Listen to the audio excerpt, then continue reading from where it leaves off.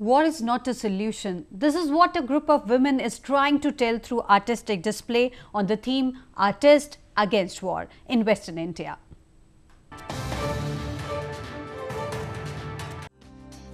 In a world where conflict, animosity, hatred, and crimes have taken over compassion and other core elements of humanity, an all women art exhibition is giving a strong anti war message. 20 housewives in Vadodara city of India's western Gujarat province have come together to deplore the gruesome ramification of war through their art pieces, including paintings.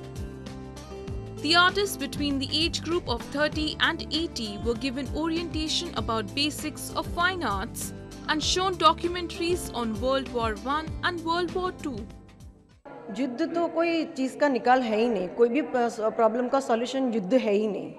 अभी तो अभी तो पूरा global हो गया है, विश्व पूरा एक मुट्ठी में सिमट के आ गया है। इससे लगता ही नहीं है कि हमको एक दूसरे से लड़ने की ज़रूरत है।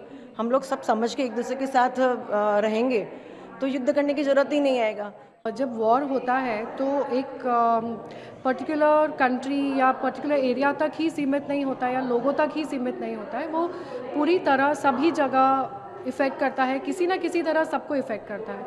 तो मेरे बताने का तरीका यही मतलब वजह यही है कि आ, ये जो आ रहा है रिफ्लेक्शन पूरी गैलरी में दिस इज़ शोइंग कि it is a global effect The art show becomes relevant at a time when terrorism is on a spike and is threatening world peace.